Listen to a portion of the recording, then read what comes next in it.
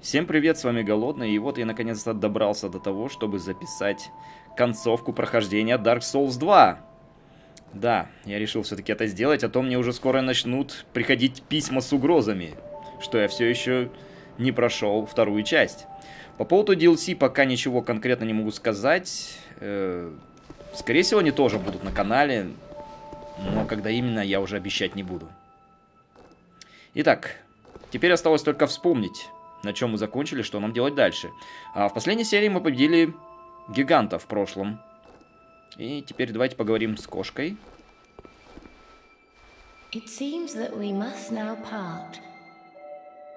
Why now? I don't see how it should matter. Just because... Because I'm a cat?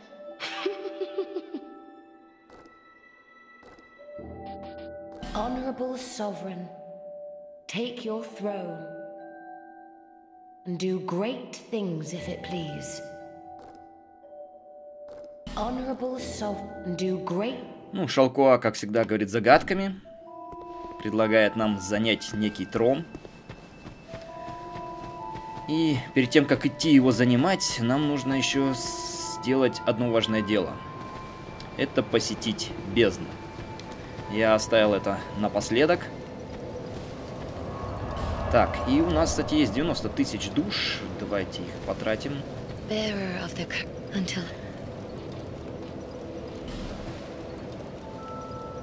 На самом деле, я зря под конец игры, конечно, прокачался на Ведьмака, потому что Ведьмаку в бездне будет немного тяжеловато. Ну, да ладно. Не буду я уже перекачиваться.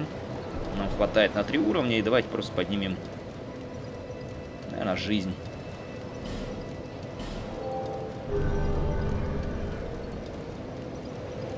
В принципе, можно было вообще ничего не прокачивать. Ничего это особо не меняет. Ну, все равно нам душу тратить особо некуда. И давайте немножко составим по-другому заклинание. Нужно взять немного пиромантии.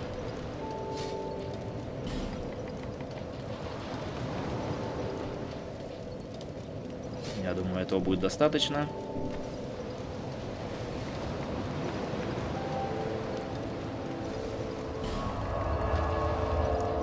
первым делом давайте сначала сходим в Железную Цитадель. Там у меня тоже осталось еще одно незавершенное дело.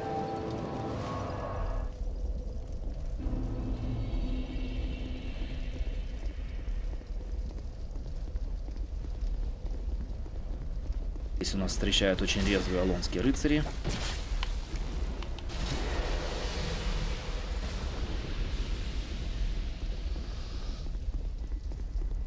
И нам нужен торговец трудно выговариваемым именем,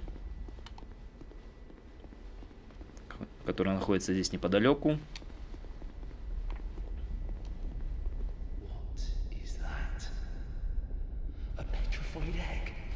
Оу!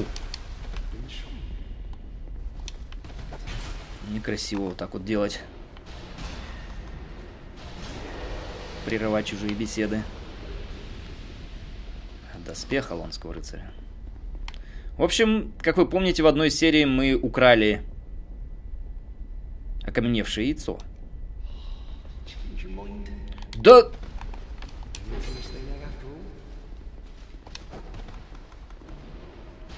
Не то чтобы я не хотел. Так, это, я надеюсь, все.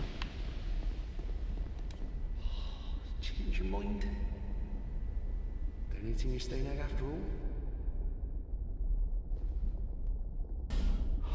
Very kind of you. This thing is amazing. C could it be a dragon egg? Oh, you feel invigorated just by holding it. И теперь мы можем вступить в ковенант реликвий дракона.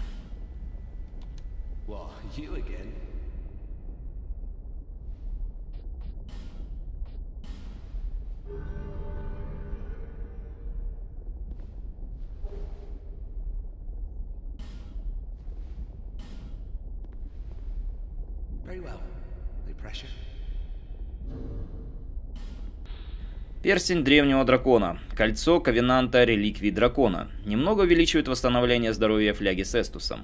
Наличие драконьей чешуи – доказательство мощи обладателя этого кольца. Силу нужно выражать открыто и распределять справедливо. Члены Ковенанта, облаченные в драконью чешую, могут сражаться друг с другом. Победитель забирает чешую соперника. Да, как и в других частях Dark Souls, здесь можно превратиться в маленького дракончика. Но для этого нужно преподнести хотя бы 10 чешуек главе Ковенанта. Их можно фармить либо у драконьих рыцарей, ну, еще есть э, место, где можно их пофармить DLC. То есть, в принципе, даже без сети можно прокачать этот ковенант на максимум. Если вы играете по сети, то при помощи как раз глаза дракона, предмет для игры по сети, отправляйтесь в мир, где находится чешуя дракона, чтобы забрать чешую у хозяина этого мира. Главная слабость людей – их непорочная плоть. Те, кто стремится изменить себя, приняв облик древних драконов, настоящие первопроходцы. Мы можем оставлять метку на полу, и если вас призовут, то будет PvP-сражение, победив котором вы получаете чешую. Ну что ж, э, делать нам больше здесь нечего. Возвращаемся обратно.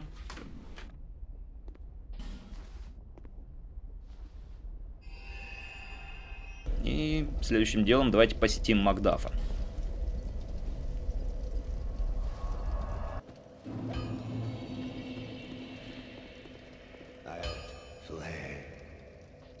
И давайте для более опущего урона закалим наш черный посох ведьмы на тьму. Так как у нас сейчас нет практически ни силы, ни ловкости, то можно закалить нашу утигатану на грубое оружие. Это придаст ей больше физического урона.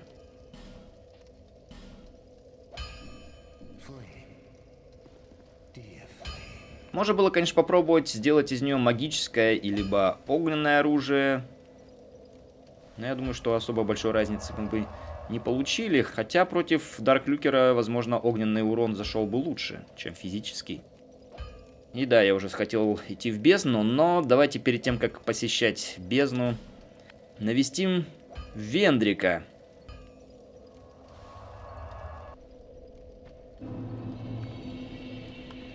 Да, не совсем удачный костер здесь.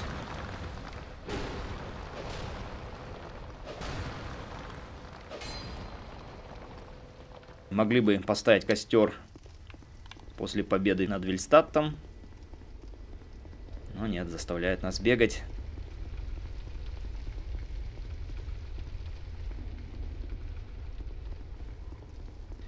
Так как мы получили 5 душ гигантов, теперь мы можем без особых проблем попробовать победить Вендрика.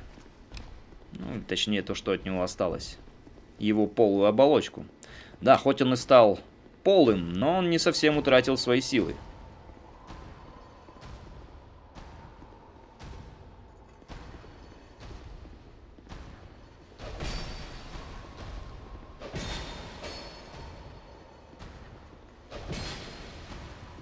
А пока он не разлится, его количество жизни не видно.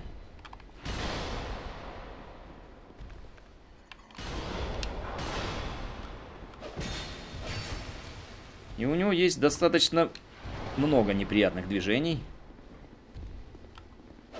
Особенно парочка горизонтальных атак.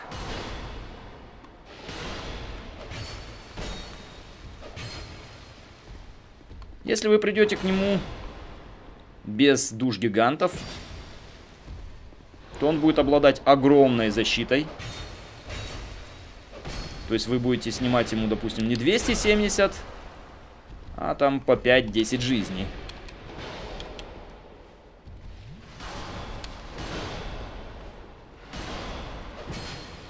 Каждая найденная вами душа гиганта снижает ему защиту в несколько раз. К сожалению, урон Не особо. Вау, снижается.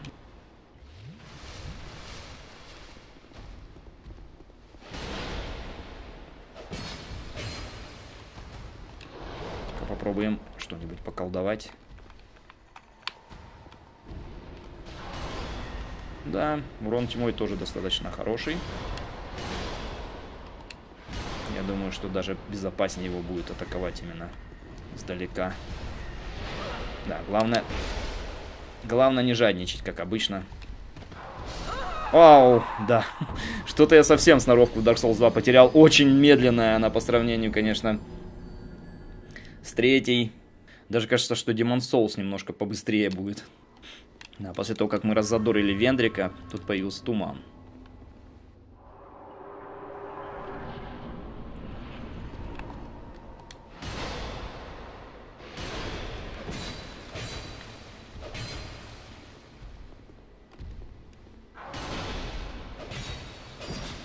Пытаемся использовать правила буравчика. Крутимся возле его левой ноги.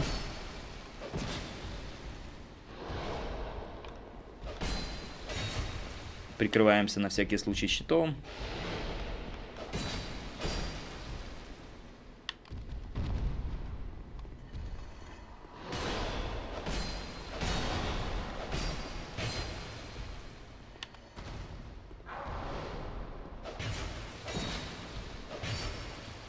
Да, и так, наверное, будет безопаснее всего.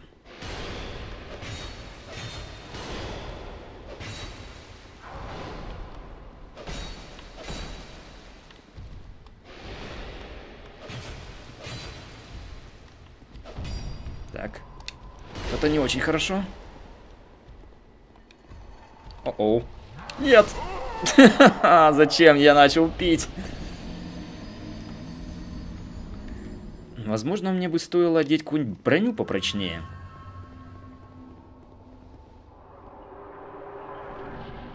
Чтобы не умирать с двух ударов. Ну,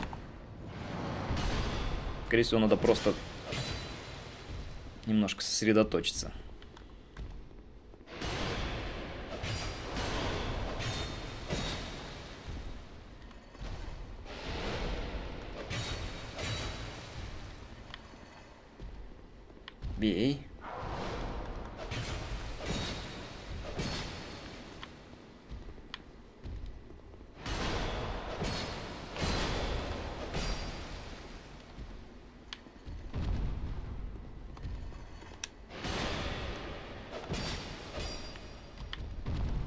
Да, слишком за него заходить не стоит, а то он начинает отпрыгивать.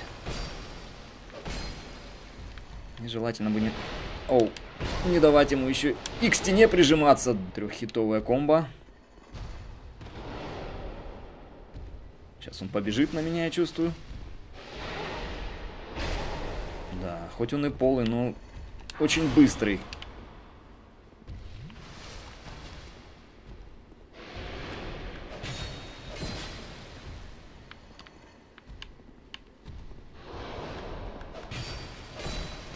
Третьего-то раза я его должен одолеть.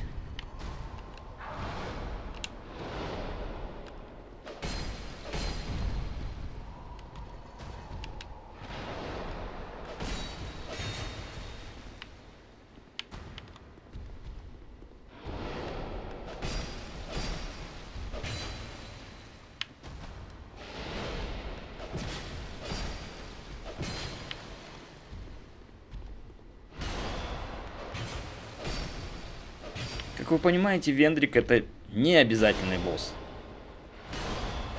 И убивать его совершенно не обязательно, но желательно. Потому что это даст нам доступ в одно из интересных мест.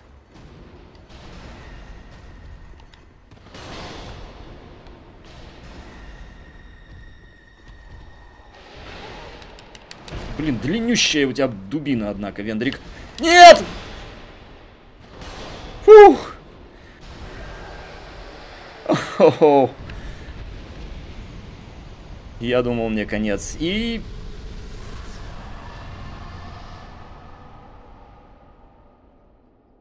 И он ничего не дает, только 90 тысяч душ. Но на самом деле не только 90 тысяч душ он дает.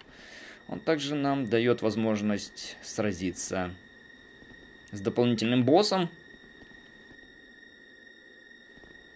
и открыть одни врата.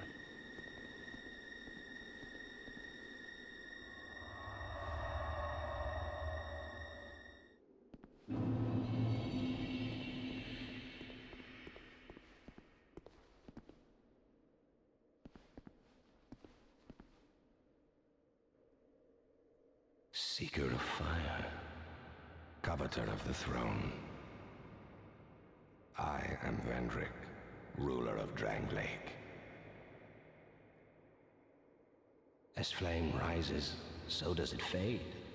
Such is the way of things. Do you intend to link the fire?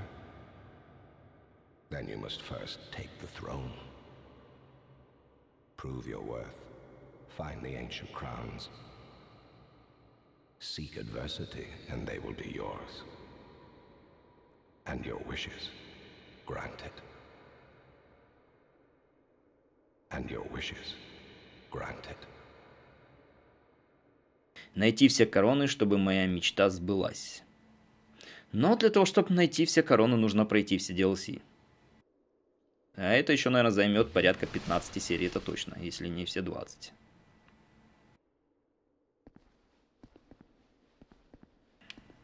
Больше нам здесь делать нечего.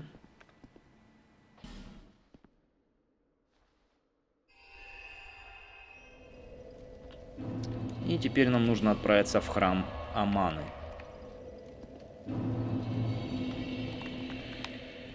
Так. Самая ненавистная локация.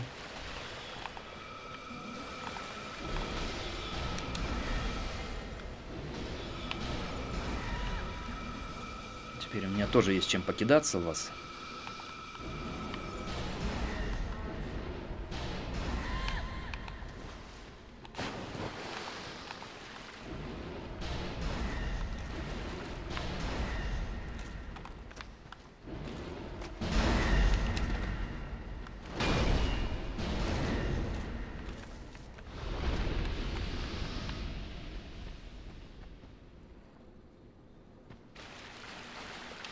Здесь нам нужно идти мост под водой.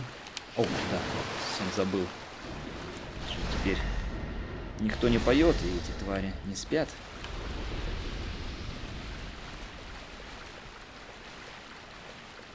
Так, еще желательно бы смотреть под ноги.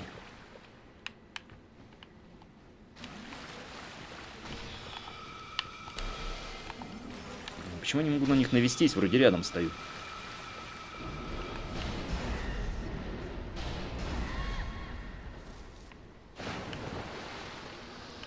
Как раз... Э, здесь стоял раньше драконий всадник, но после того, как мы убили Вендрика, он отсюда пропадает.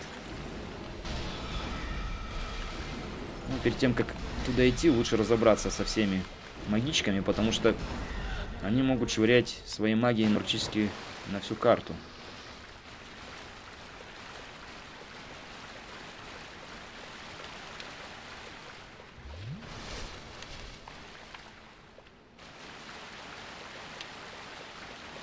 Здесь за корешками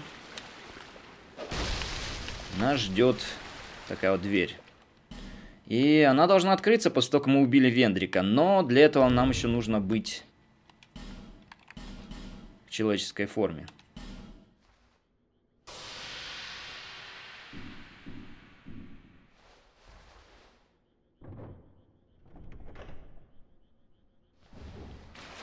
Здесь у нас стоит маленький трон.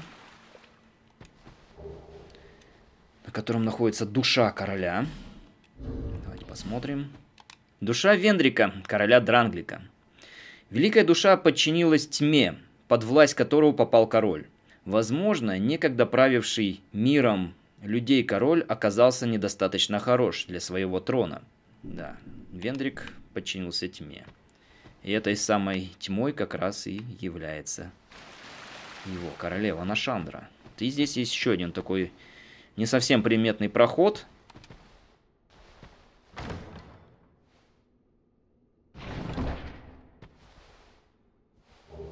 где лежат королевская корона и сет короля.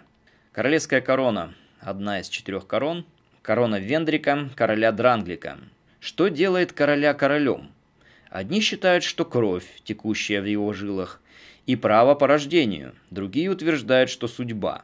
Но так ли это важно, если имя короля способно объединить народ? Доспех Вендрика, короля Дранглика. И он имеет такое же описание, как и корона. Так вот он выглядит. Он очень тяжелый, по крайней мере для меня. Ну и все, можно отсюда эвакуироваться.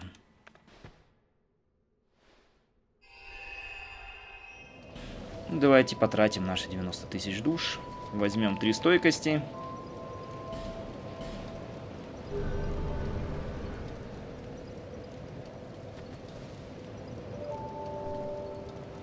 Ну что ж, и теперь можно со спокойной совестью отправляться в бездну. И давайте, наверное, начнем с темнолесья.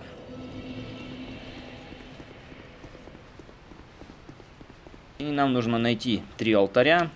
Они разбросаны по всему Дранглику.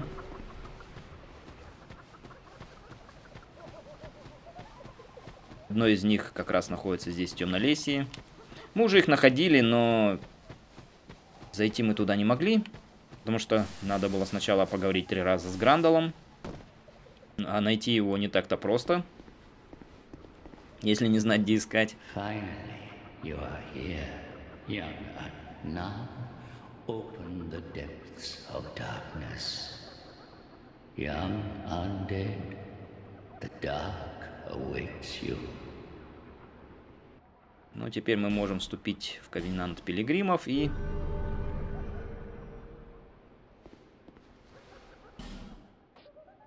Дав ему человеческую фигурку. If you seek the dark, young undead, you must offer a human effigy.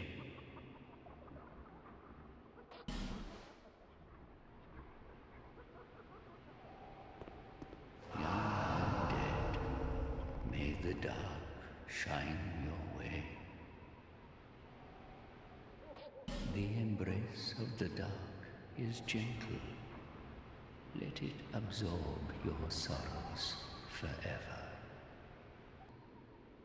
May the dark shine your way. Ну что ж, каждая попытка пройти тьму будет стоить нам человеческой фигурки.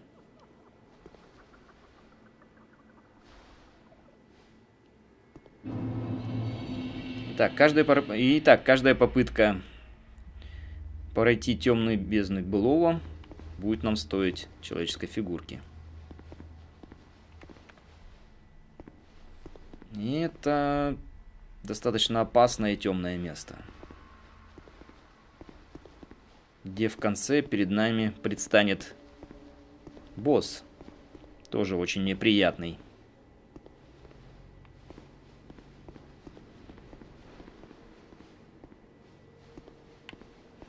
Но и награда достаточно интересна.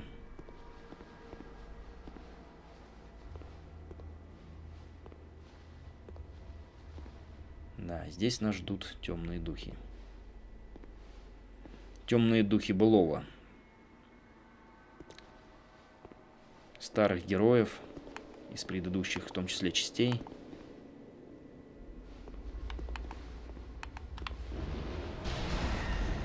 Самая еще проблема, что они очень часто нападают группами.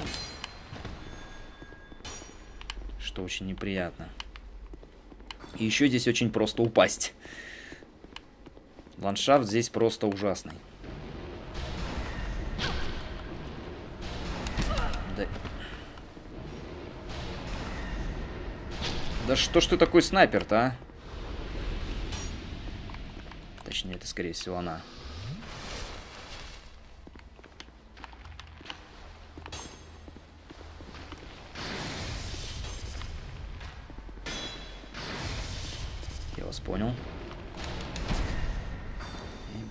Продолжать стрелять тогда.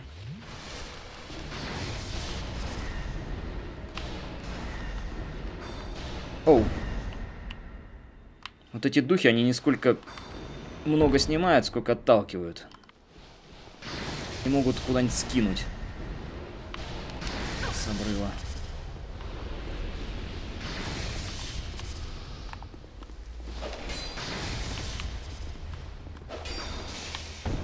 Примерно вот так. И зачем я только полез в рукопашную? Да, придется отдать еще одну фигурку.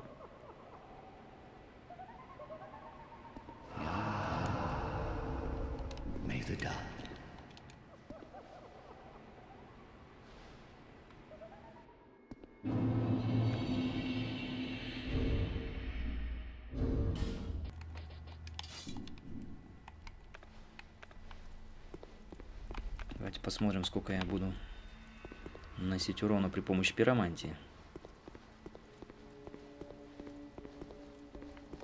У нас есть заклинание по площади. Свои внутренности забрать.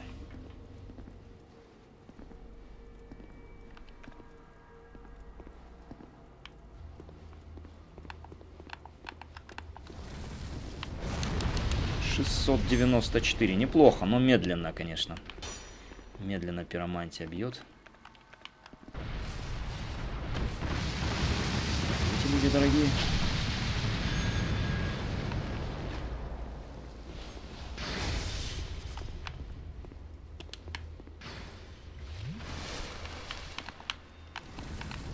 Вау.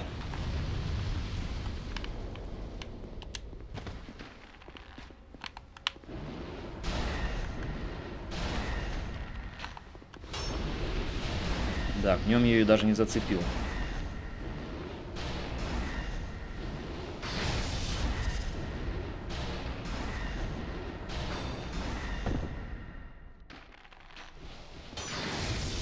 Они еще и к тому же еще и пьют эстус. Так, ну тебя нафиг. Давайте его сожгем.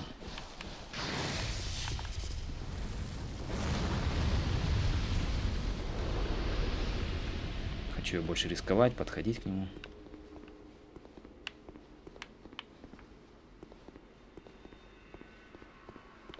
Ух, тихо. И здесь нам понадобится факел.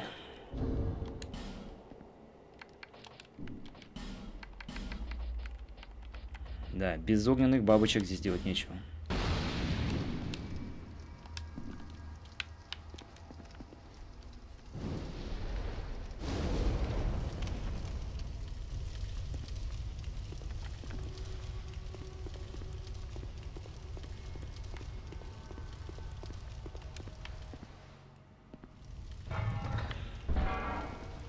Локации бездны не очень большие. И в каждой из них цель зажечь вот эту чашу и выбраться отсюда.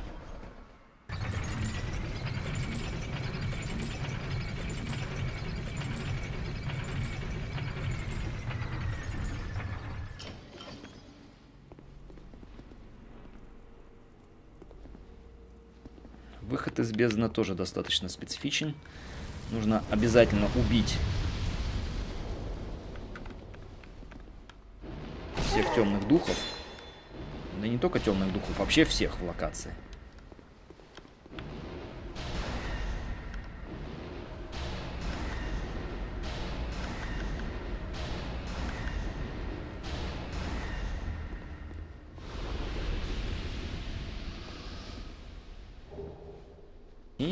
Да, можно фармить угли вражды.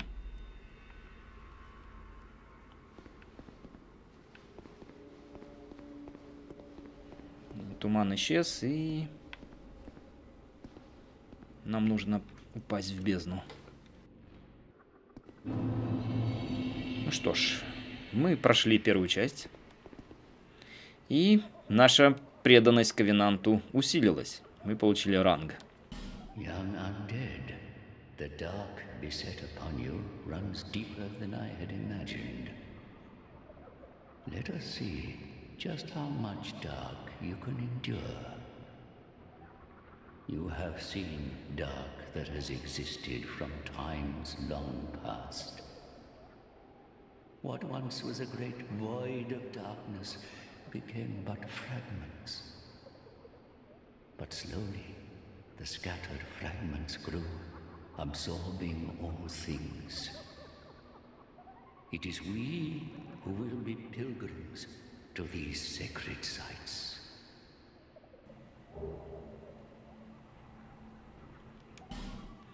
И в подарок мы получаем звучную душу.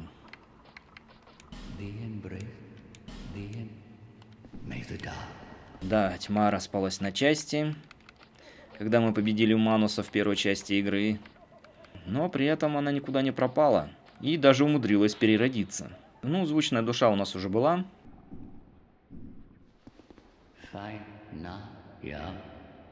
И Грандол, кстати, продает еще много интересных вещей. Уголь вражды, человеческие фигурки. А также бурю тьмы и полное безмолвие. Буря тьмы – экзотическое заклинание Навлана, печально известного мага-изгнанника. Создает вихрь темного пламени. Еретик Навлан был казнен вместе со всеми жителями его деревни, а его имя оказалось под запретом. Поговорят, что так поступили, потому что он пытался возразить запрещенное искусство воскрешения. Ну, Навлана мы уже встречали, по крайней мере, его перерождение в бедном несчастном маге, заточенном в замке Алдии. Ну что ж, пойдем искать еще один вход в бездну.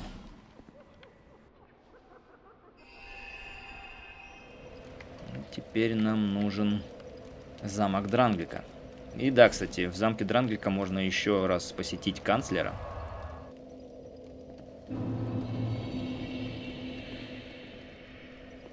И за победу над королем гигантов канцлер Виллагер, по-моему, должен нам дать несколько интересных предметов.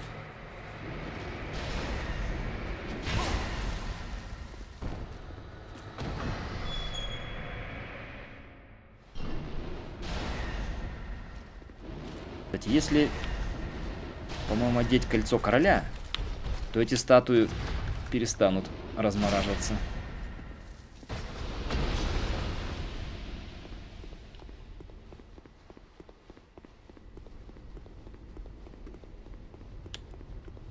Так. Где-то он здесь, да, вот он. Так, канцлер. Welcome, visitor.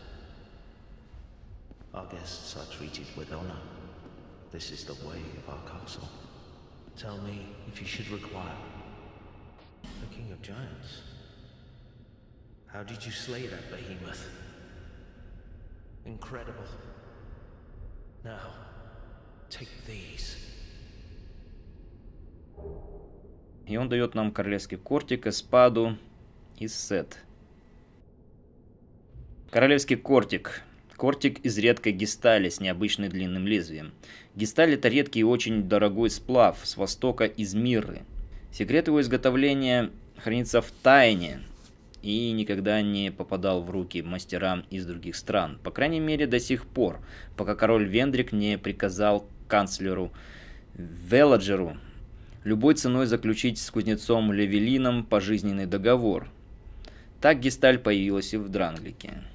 Эспада Ропера, колющий меч канцлера Веладжера, выкован из редкой гестали. Шедевр великого кузнеца Левелина, который он принес с собой в качестве подарка, когда прибыл из Миры в Дранглик.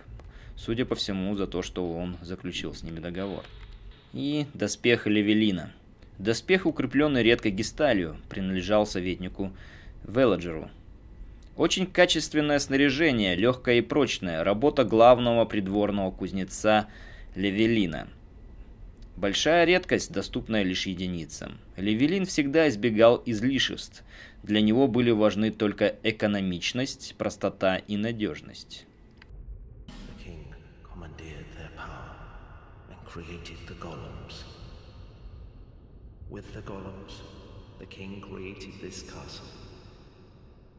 To celebrate victory, and to show his love, his gratitude. The Queen brought peace to this land and to her king. A peace so deep, it was like the dark. Is this some sort of a dream? Where am I? What has happened to our castle? Who are you? By whose permission do you stand before? My lord made magnificent findings on souls. An accomplishment for the ages.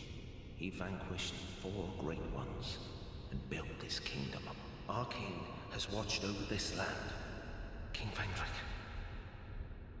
We must... The king had a dear queen. Long ago, the queen came to us, alone, from a faraway land. She warned our lord of the looming threat across the seas, of the giants. The king crossed the ocean and defeated. The king commandeered their power. With the golems, the king wears his royal. Ну ладно, все это мы уже слышали. Это так. Просто небольшое напоминание. Что сделала королева, что сделал король, ни к чему все это привело. И кто такая вообще эта королева? Королева Нашандра, с, которой нам еще предстоит встретиться. Но перед этим нам еще предстоит пройти чертоги тьмы.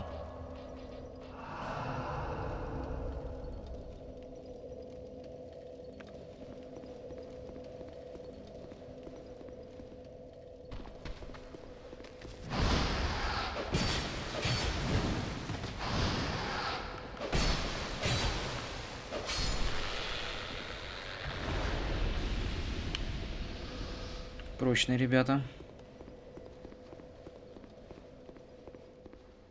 Finally, the embrace of the dark. May the dark shine your way.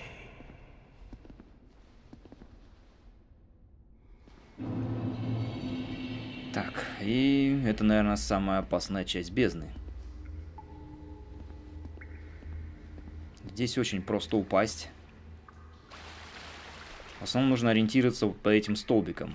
Обычно они указывают там, где есть земля, но вот здесь вот тупик. Точнее, провал.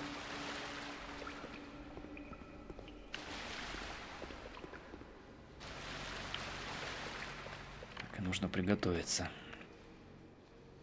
Сейчас нас встретят очень сильные враги. Старые знакомые из прошлого. А именно Хавал и принц Рикард.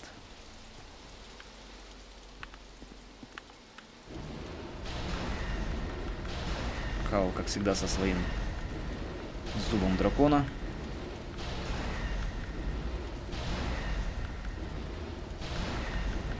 Постараемся его как можно быстрее закидать.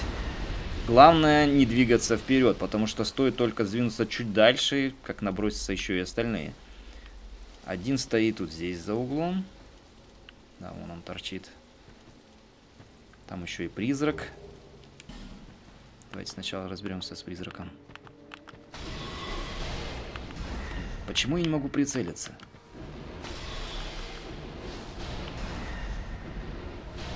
Похоже, из-за того, что здесь слишком темно, прицеливаться я могу только практически в упор.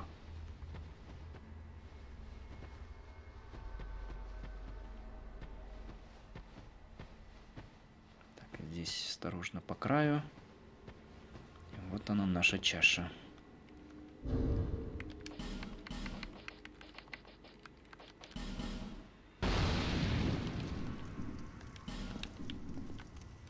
Если вы играете милишником, то самое лучшее здесь использовать против Хавала и других темных духов, это, конечно же, большая дубина. Сильными атаками, прибивая их к полу. Иначе вам будет здесь очень тяжко, потому что маневрировать здесь очень сложно. среди всех этих обрывов. И вот, похоже, это наш как раз принц Рикард с рапирой. Да, который может сделать очень неприятные вот такие комбинации, которые снимут практически большую часть жизни.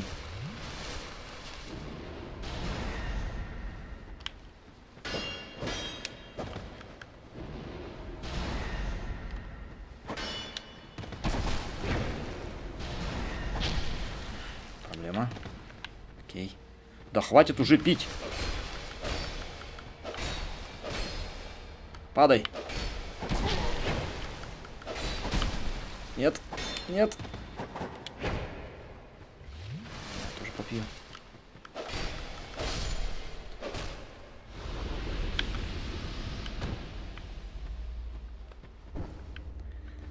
Фух, и здесь остался, по-моему, еще один.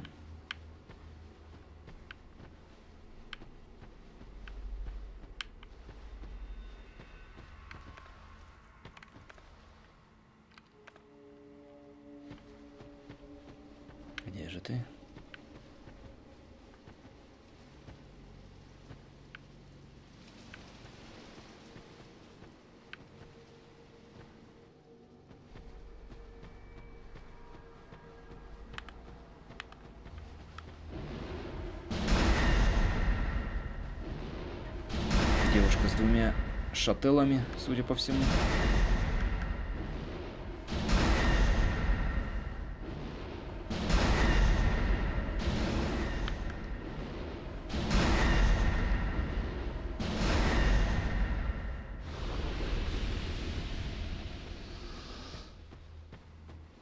Так, ну и это, похоже, все.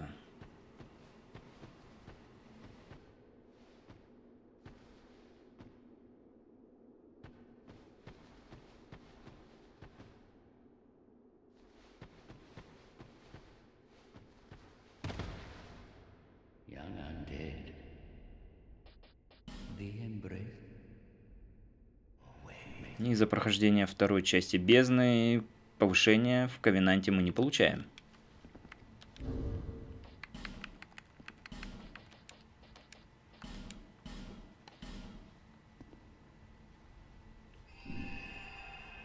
Ну что ж, у нас осталось последнее испытание.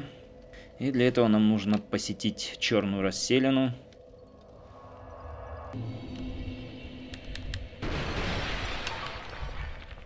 Лучше это делать с этой стороны.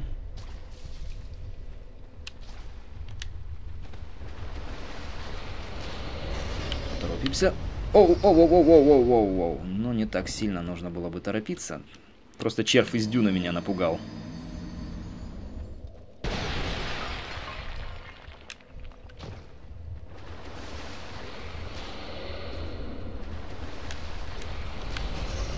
Потихоньку.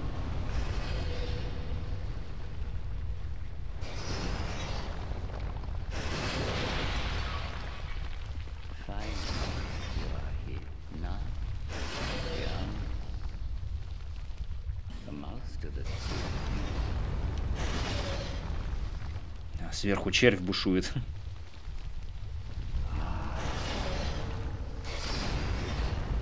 shine.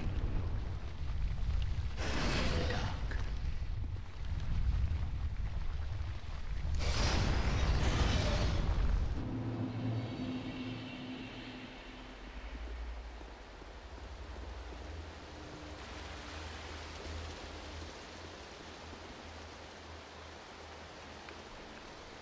И кто у нас здесь?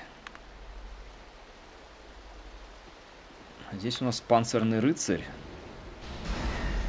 С двумя огромными дубинами.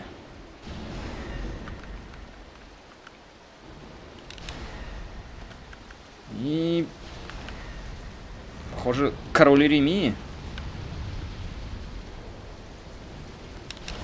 Блин, почему он своей пиромантии не попал ему по заднице?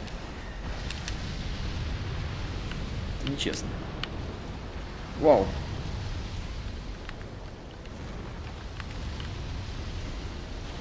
Что победит тьма или пиромантия?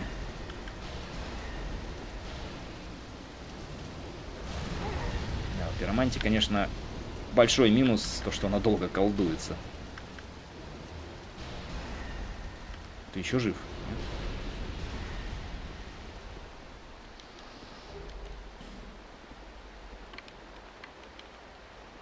Так, и сейчас лучше бутылочки не транжирить.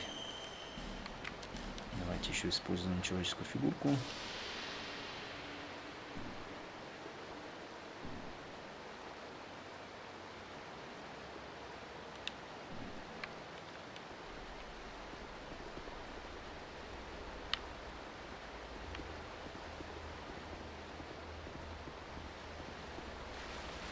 Ага, вот ты где.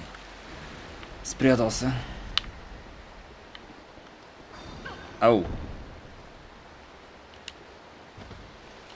Да... Как-то он неочевидно колдует.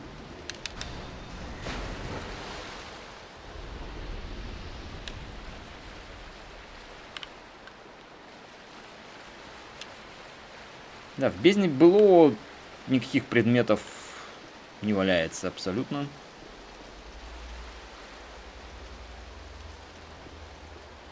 То есть пропустить здесь в принципе ничего нельзя.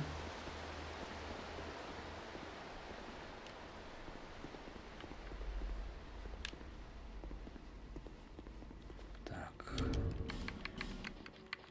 Нам нужна очередная бабочка. Немножко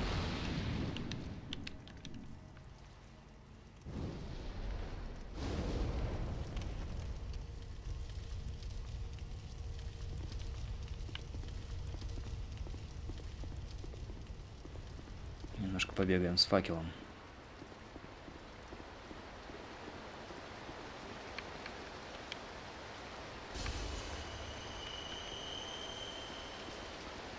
Тулки я приберегаю, потому что нас здесь в конце этой локации встретит босс. Причем неважно, в какой последовательности вы проходите эти бездны, всегда э, в конце третьей будет босс. И даже если я вернусь к прохождению предыдущих и пройду их, то в конце них тоже будет этот же самый босс. То есть, по идее, можно выбрать, какая из трех проще, чтобы при смерти каждый раз к боссу добегать было легче. Ну, тут на самом деле мало приятного во всех трех из них. Возможно, каждый выберет что-то для себя. Мне, мне так кажется, вот это проще всех остальных. По крайней мере, здесь меньше мест, где можно упасть. Хотя и противники здесь тоже достаточно сильные. Так, у нас кончилась вся тьма. Ну, на боссе нам тьма здесь и не пригодится. Так как у него огромнейший дефенс к этой самой тьме.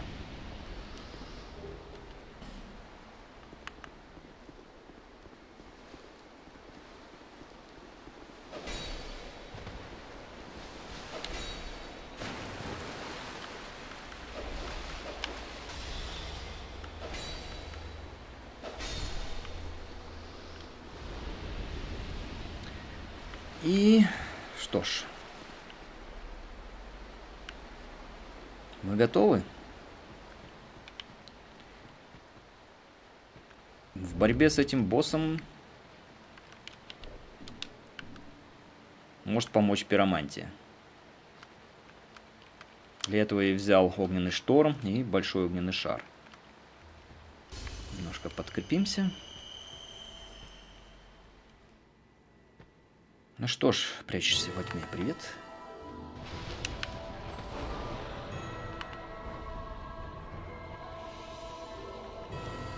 У него есть несколько неприятных приемов. Вот один из них, когда он пускает темную сферу. Потом, когда он колдует три фаербола, но от них достаточно просто увернуться. Бьет вот таким вот мечом. Да, катана, конечно, на огонь сносила бы побольше, чем а, 120. А, поначалу лучше пиромантию на него не тратить. Пока он один, принципе, проблем с ним особо не возникает. Вот когда их становится двое, тогда начинается проблема. Хорошо, может телепортироваться. Это не особо помогает. Вот этот прием самый, наверное, противный. Нужно просто бежать в сторону. Как можно быстрее. Оу. Решил полечиться. Тут же получил. Когда он подлетает, он делает луч. Ну, от него увернуться вообще нет никаких проблем. Просто стоять и ждать, пока он спустится.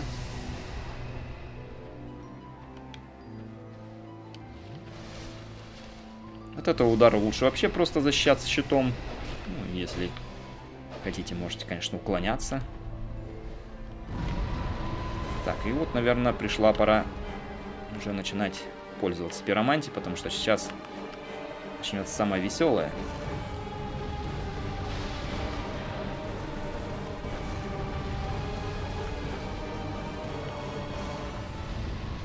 Жим.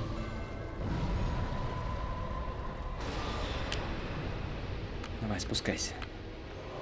И когда он начинает, начнет раздваиваться, лучше использовать огненный шторм. Когда есть шанс нанести большой урон по ним двоим сразу.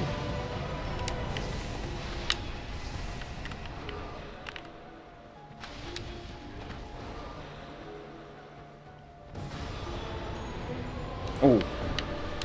Сам напоролся.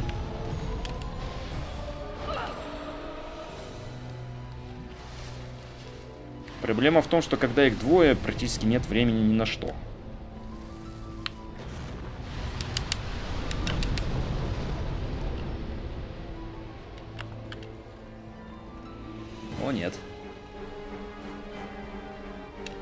Оу! Прям четко попал. Да, после того, как я прошел третий уровень, преданность Ковенанту усилилась. Но я еще не убил босса. Он нам дает великую звучную душу. И да, самая большая проблема этого босса то, что нужно постоянно тратить человеческую фигурку для того, чтобы попасть в бездну. И опять же эту бездну заново перепроходить. Ну, по крайней мере, тот уровень, который вы выберете, один из трех. Неважно, какой из них вы выберете. В конце, как я и говорил, в конце всегда будет босс. Да, наши потроха остаются сверху.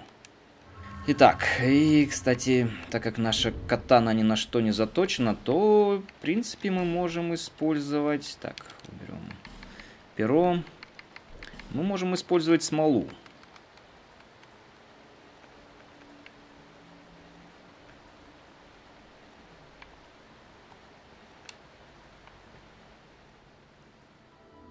Что ж, потанцуем.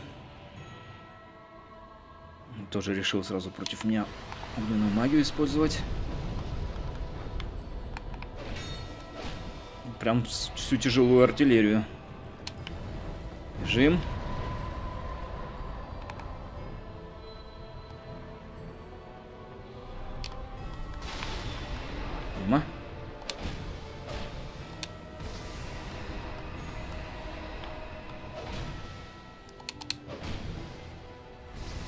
Выносливости недостаточно.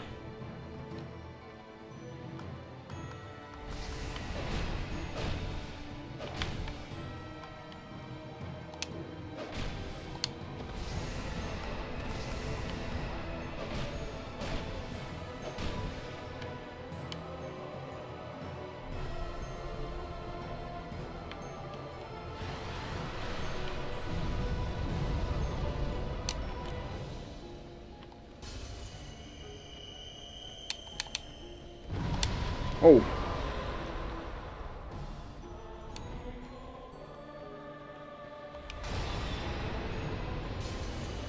Луч это хорошо. Можно немножко передохнуть.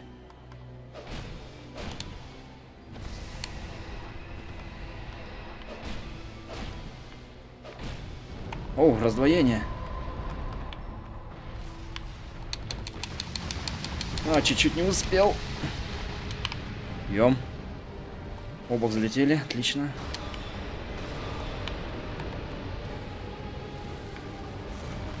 Нужно немножко покидаться фаерболами. О-о, только не это. Где, где, где, где, где? Где? Где второй? А. Ой, сзади.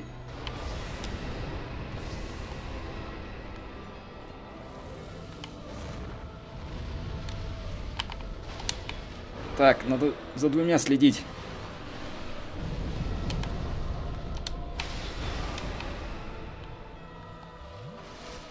Уйди от меня. Три фаербола. Еще три фаербола. И от меня тоже один фаербол. Мои фаерболы закончились. Окей, копашку.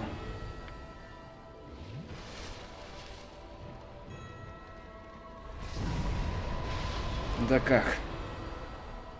Так, так, так. Главное, сосредоточься. Серега! Давай, последний удар! Фух. Фух. Есть. А... What the fuck? Ну я же победил.